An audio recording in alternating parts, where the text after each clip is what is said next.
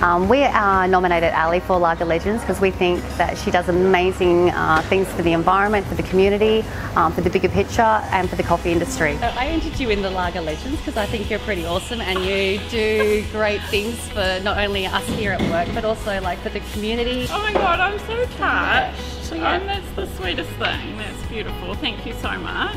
I'm very surprised. I would never consider myself to be, yeah, a legend of any type or any sort.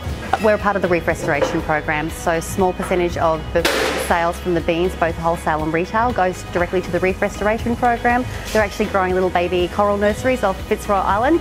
It was um, a newspaper article in the Cairns Post actually. It kind of teared me up and got me going. So we um, investigated a few different options for how our business could be involved locally.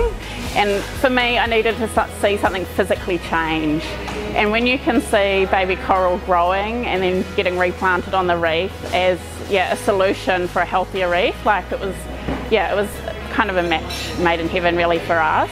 Each winner of the Lager Legends rounds wins a free carton of Hemingway's Canecutter Lager. Plus, go in the draw for the ultimate weekend experience featuring Cairns Luxury Car Hire, Hartley's Crocodile Adventures, Riley, a Crystalbrook Collection Resort, Dundee's at Cairns Aquarium, Down Under Cruise and Dive, Nautilus Aviation, finishing up at Hemingway's Brewery, of course.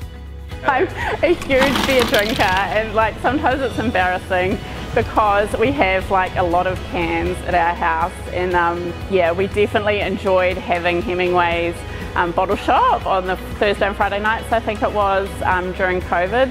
Congratulations Ali, you're the Hemingway Lager Legend for round 10. You're awesome.